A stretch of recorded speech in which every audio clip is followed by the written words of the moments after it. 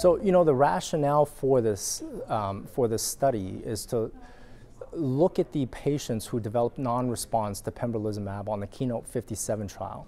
And as you know, the Keynote 57 trial read out as a positive trial um, warranting FDA approval for pembrolizumab in the BCG unresponsive setting.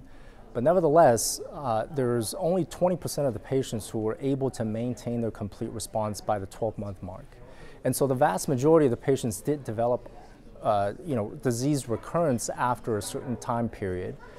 The question that we wanted to ask is, is it possible for us to continue a bladder-sparing therapeutic strategy in this disease setting, even after non-response to Pembro, um, rather than taking them for a radical cystectomy? So the way that we did that was we observed there were three different groups um, within the Keynote 57 cohort. Uh, there's the patients who developed non-response and went directly to radical cystectomy within a four-month time period.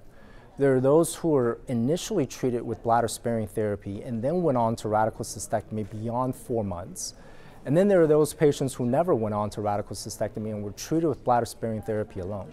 So within these three different cohorts, we asked whether there is any difference between them in terms of progression-free survival to muscle-invasive disease or metastasis, whether there's any difference in metastasis-free survival, and also overall survival. And in a nutshell, we found that there wasn't any difference between the three different treatment strategies. And I think that has very important implications in that if the patients were to um, say, not respond to the first line of salvage therapy after BCG unresponsiveness, they still have a window of opportunity to be treated, continued on bladder sparing therapy, so that we do not necessarily have to rem surgically remove their bladder and subject them to all of the complications and the morbidities that are associated with the surgery.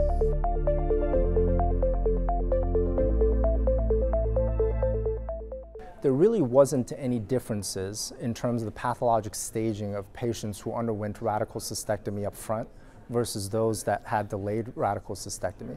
I should qualify by saying that um, we did exclude those patients who underwent radical cystectomy up front who were found to have muscle invasive disease because those patients, you know, again, they, um, they were understaged essentially at the time of the disease non-response.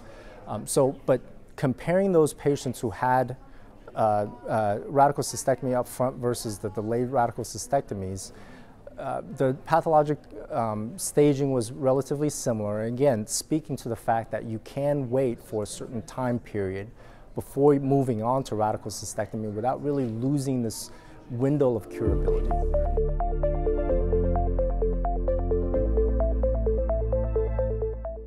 You know, I think we're learning a lot about this disease space BCG unresponsive carcinoma in situ and also BCG unresponsive papillary only disease.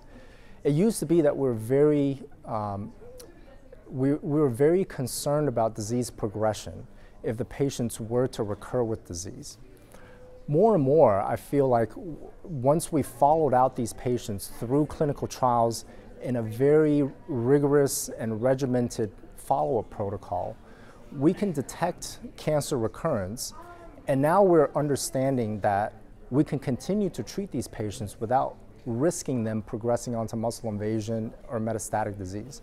So what this implies is that we can continue to treat these patients in the bladder sparing manner and with many more bladder sparing therapies coming online and being approved by the FDA, you know, it's really going to be up to us to figure out which therapy we should use up front followed by which therapies and which, which therapies should be paired with which that makes the most sense.